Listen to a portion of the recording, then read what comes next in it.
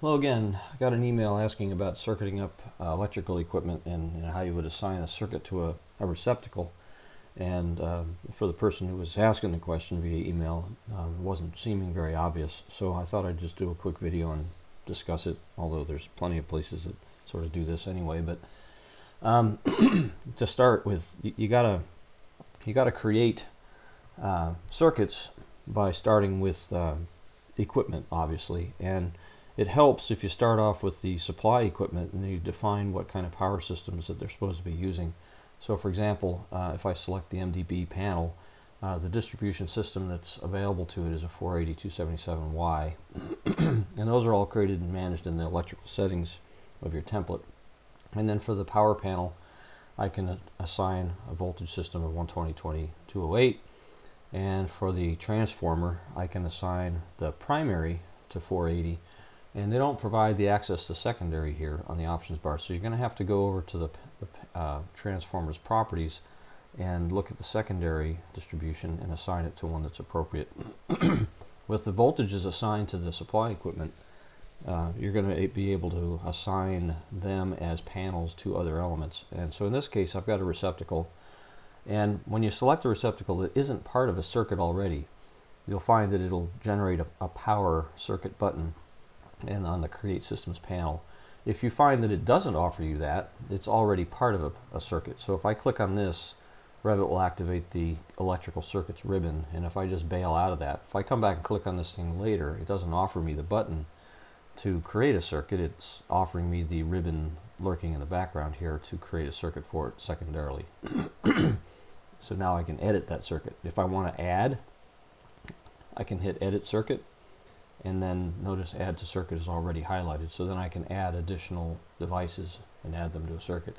And I can choose select panel which allows me to reach over and grab a panel graphically or choose a panel from the list. And I have to be able to know which one I want in this case.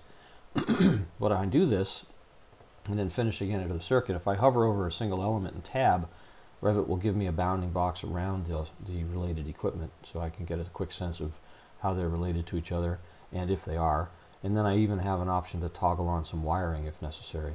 Um, although some people don't do a lot of wiring, they just use tags and so forth. It, it comes down to personal preference.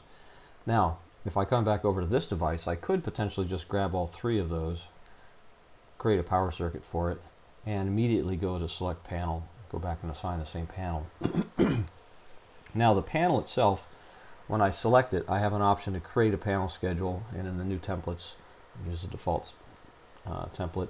What Revit's going to do is as you create circuits for objects and then assign them to panels, it's just going to start dumping them on the panel one, two, three, four, etc. Now, if you're not happy with that arrangement, then it's really up to you to take the circuit and you know move it down to a different location, move it across to another spot so they get put on the right circuit, the one you prefer. and then there's options to put spares and spaces in and lock them in place and manage the panel in that regard. Now, if I go back to the panel, um, I'm running up, coming close on my five minutes here. I'm a little over three minutes, so quickly. This panel here is a parent to these children. This panel is also a child potentially to another parent, in this case the transformer, because it's getting power from T1.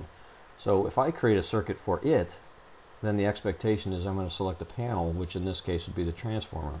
and then the same thing is true for the transformer it's a child to a parent.